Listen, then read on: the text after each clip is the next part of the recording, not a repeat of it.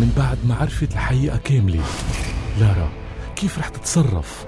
أكيد رح كون معك. بعد كل يلي سمعتيه وشفتيه وبعدك مش مصدقة ولشو عم بتخطط؟ مش بهالسهولة رح خليك تخسرني. أصرت على الزواج. الكل خايف عليها. مستحيل نتركك وحدك. مش لازم نترك له فرصة يستفرد فيها. وهي؟ ما تخاف علي من كمال. كمال بحبني. معقول ترجع توقع بلعبة كمال؟ هالمرة مش رح تزبط معه. خلصي منهم اليوم قبل بكره ويلي بيوقف بوجهه. رصيف الغرباء كل يوم بعد الأخبار على ال بي سي آي